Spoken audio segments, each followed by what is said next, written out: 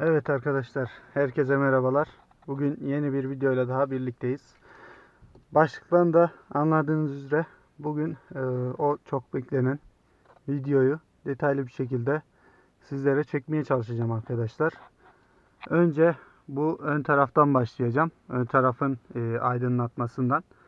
Daha sonra arka taraf ve e, bagajı da değiştireceğiz arkadaşlar. Bu videoda 3 komple aracı led yapacağız. Zaten daha önce de plaka lambalarını led e, poton ampullerle değiştirmiştim. E, şimdi de arkadaşlar yine aldığım ürün şu. Hemen göstereyim. E, yapısı itibariyle potona benzeyen bir ürün ama poton değil. Maalesef e, bu takımı sadece ikili takımı 75-80 lira civarı. O yüzden yani aracın içi de komple T10 led olduğu için çok maliyetli bir e, olacaktı. O yüzden ben bunları aldım. Tanesi yanlış hatırlamıyorsam 20 ya da 25 liraydı şu paketi. 2 tane var içinde. Ben bundan 3 takım aldım. Şöyle göstereyim. E, komple hepsini led ile değiştireceğiz arkadaşlar. Ampulümüz 6000K. Beyaz led. E, daha önce ben denedim. Gayet güzel aydınlatması var. E, plaka lambasını değiştirirken eğer izleyenlerimiz varsa söylemiştim. Bu ürünü de bagaja takacağım arkadaşlar. Bizde zaten 7 tane e, ampul lazım. Bagajla birlikte. Pardon. E, şey plaka lambaları, e, iç aydınlatmalar ve bagajla birlikte toplam 7 tane ampul lazım. Bir tane bagaja, ikişer tane de e, 4 tane içeriye, 2 tane plakaya. E, bunları bagaja takacağım dediğim gibi. Bunların ledi daha fazla, aydınlatması daha iyi olsun diye. E, şimdi arkadaşlar ön tarafı sökme işlemiyle başlayalım. E, ön tarafı sökmek için yine ben şu kemik aletlerini kullanacağım. Şöyle göstereyim. Şu turuncu kemik aletlerini kullanacağım. Bunlar arkadaşlar e, internet sitelerinde, alışveriş sitelerinde bulabilirsiniz. E, trim aparat sökme takımı olarak geçiyor. Oto hoparlör sökme aparatı olarak geçiyor. 20-25 lira olması lazım şu 4 parça. Zaten diğer parçalar da var bende ama onları kullanmıyorum zaten. Gerek duymuyorum onlara. E, şimdi arkadaşlar ön tarafı sökme ile başlayalım. Ee, şöyle biraz görüntü karanlık çıkıyor olabilir ama e, hemen anlatayım ben sizlere. Sonra sökme işlemine geçeceğim. Şurada iki tane aydınlatma kapaklarımız var. Bunları sökmeyeceğiz arkadaşlar. Önce şu kısmı sökeceğiz. Beige kısmı sökeceğiz. Yani sos e, sinyalinin ışıklandırma tuşlarının olduğu yeri sökmemiz gerekiyor. Daha sonra bunları sökeceğiz ki çünkü İçeride şu köşelerde bunları tutan ayaklar bunu şu kapağı sökmeden sökmeniz imkansız arkadaşlar. Kırıp da çıkarmanız gerekir. Ee, şimdi ben bunları sökmeye başlayayım. Öncelik bu taraftan yani ön taraftan başlayacağım arkadaşlar. Bu kapağı aldıktan sonra diğer taraflarda çekeceğim sizlere. Evet arkadaşlar ee, sökme işlemine başlıyoruz. Dediğim gibi öncelik şu ön tarafı sökmemiz gerekiyor. Daha sonra arka tarafı sökeceğiz arkadaşlar.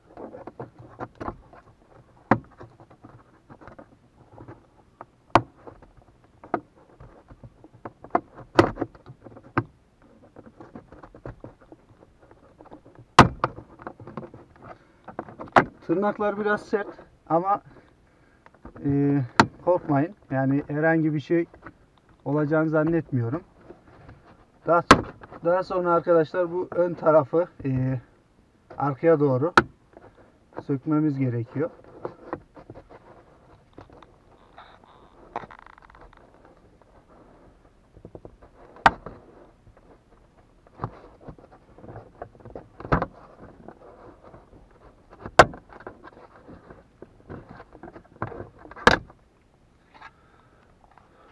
Evet arkadaşlar e, kapağımız şu şekilde tırnaklarını görüyorsunuz zaten.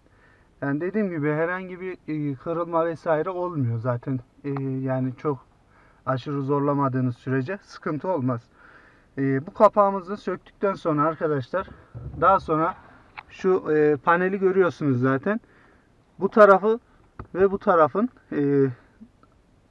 aydınlatma kapaklarını sökelim arkadaşlar.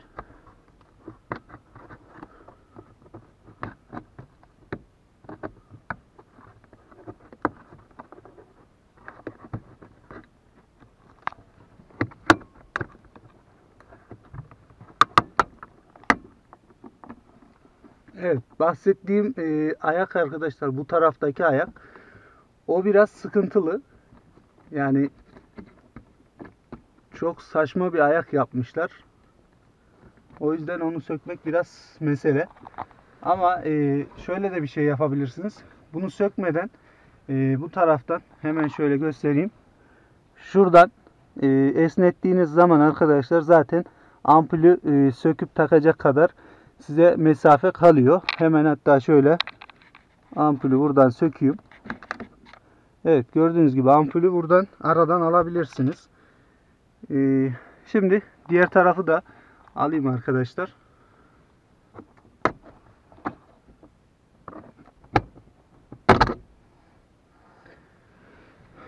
Evet e, bu şekilde e, söküm işlemini yapabilirsiniz arkadaşlar.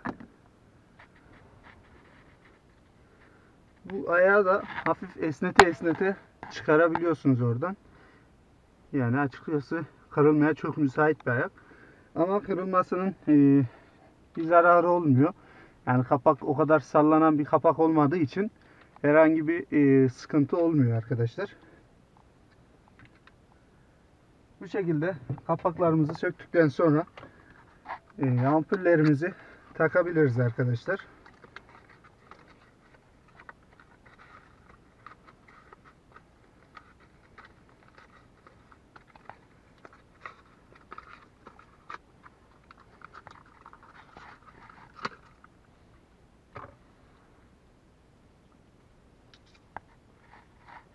Şekilde ampulleri de e, göstereyim ben size. Şöyle iki taraflı ve üstünde led olan ampul arkadaşlar. Hemen buraya takıp Evet. E, ampulümüz de oturdu arkadaşlar. Şöyle hemen testini de yapalım. Çünkü e, montajı yapmadan önce bunların çalışıp çalışmadığını kontrol edin arkadaşlar. Bir şekilde aydınlatmasını da ön izleme gibi yapabiliriz. Ee, daha sonra diğer tarafın ampulünü de sökelim bu şekilde. Zaten sökümü çok kolay.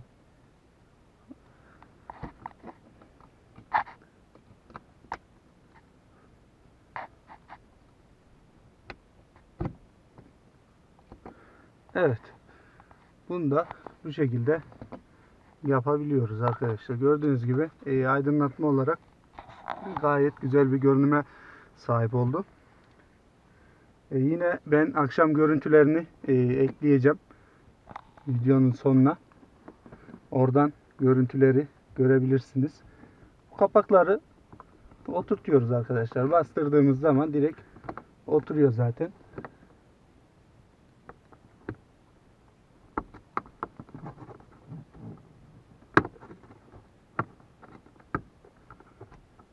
Evet.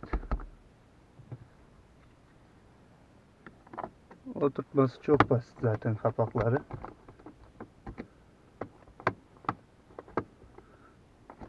Şu şekilde e, görebilirsiniz arkadaşlar. Hatta ben şunu da sökeyim. Işığa engel olmasın. Evet. Ee, daha sonra e, en başta sökmüş olduğumuz bu sos kısmının e, kapağını takalım arkadaşlar. Oturması bu şekilde yine. Yerini otur bulup tırnaklarına bastırıyoruz. Bu şekilde komple oturmuş oluyor arkadaşlar. Hemen şöyle de göstereyim. Aydınlatma olarak gayet güzel bir ışığa sahip. Ee, şimdi hemen arka tarafında ampulünü değiştirebiliriz arkadaşlar. Evet arkadaşlar şimdi e, arka tarafa e, ampulünü değiştirme işlemine geldi. Bunların sökümü ön taraf gibi çok zor bir sökümü yok. Bunları hatta bir kart yardımıyla falan bu kapakları sökebilirsiniz. Önce şu birleşim yerinden bir tanesini o düştükten sonra diğer tarafı bu şekilde e, düşürebiliyorsunuz arkadaşlar. Bunların sökümü çok basit. kolay bir sökümü var. Yine burada ampullerimiz var. Bunlar da biraz bayağı yerine sağlam oturuyor. Diğer taraftaki ampulü de aldıktan sonra yerine yeni e, led ampullerimizi takabiliriz arkadaşlar. Şunu söyleyeyim. Bu e, taktığım ampullerin boyutu şu sarılar ile yani üstünden çıkan ampuller ile aynı ölçüye sahip. 25 milimlik bir ölçüsü var arkadaşlar. Bilginiz olsun. Bu şekilde buranın da montajı oldu. Şimdi diğer tarafınkini de takalım. Evet. E, ampullerimiz doğru bir şekilde takılmış arkadaşlar. Daha sonra bu kapakları hemen şuralarda tırnakları var zaten. Işığı kapatayım ben parlamasın. Ee, hemen şuralarda zaten sökünce görürsünüz tırnakları var. Evet. Önce arkadaşlar bu e, uç kısmını yani düğmenin olduğu kısmı oturtuyoruz. Daha sonra arkaları bastırıyoruz. E, şimdi diğer tarafında montajını yapayım. Önce dediğimiz gibi düğme tarafına oturtup şu birleşim yerlerini bastırıyoruz arkadaşlar. Bu şekilde bir görüntüye sahip oluyor. Önleri de yakalım. Evet. Gördüğünüz gibi önler ve arkalar bu şekilde. Şöyle arkadan görünümü. Ee, şimdi arkadaşlar bunun da montajını tamamladık. En son olarak e, bagaja geçebiliriz arkadaşlar montaj için. Evet arkadaşlar e, son olarak bagaja geldik. E, bagajımızda da yine şu kenarlarında tırnakların şeyleri var, yerleri var zaten. Görebilirsiniz. Onları kastırarak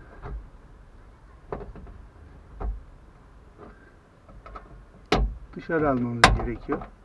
E, sol taraftan kastırdığımızda dışarı düşüyor zaten direkt. E, bu şekilde soketini alabiliyoruz arkadaşlar. Şuradaki e, direkt soketine bastığımızda çıkıyor.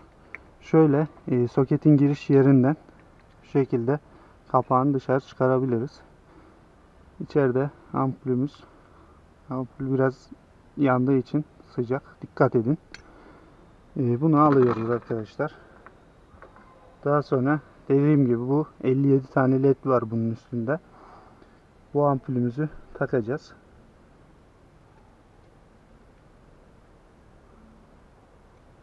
E, taktıktan sonra arkadaşlar bir e, kontrolünü yapın. Çünkü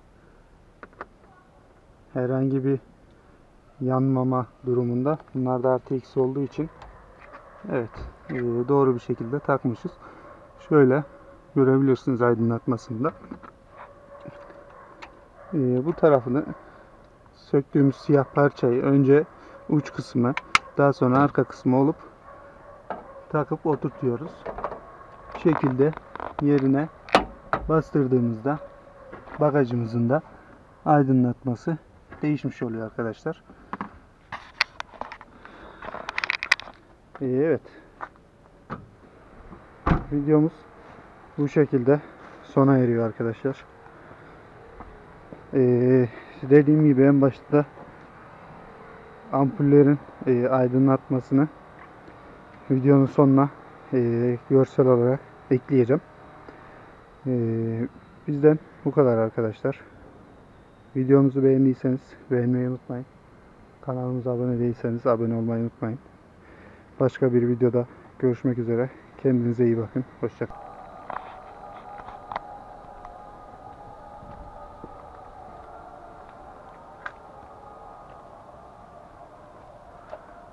Evet arkadaşlar ampullerimizin gece performansı bu şekilde.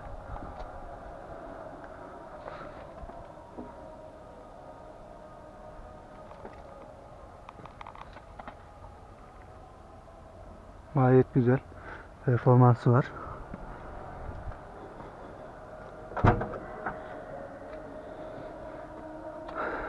Bagaj yalnız e, içerilere göre biraz e, zayıf kalmış. Onunla oraya tekrardan bir farklı bir ampul deneyebiliriz arkadaşlar. Şu şekilde gördüğünüz gibi.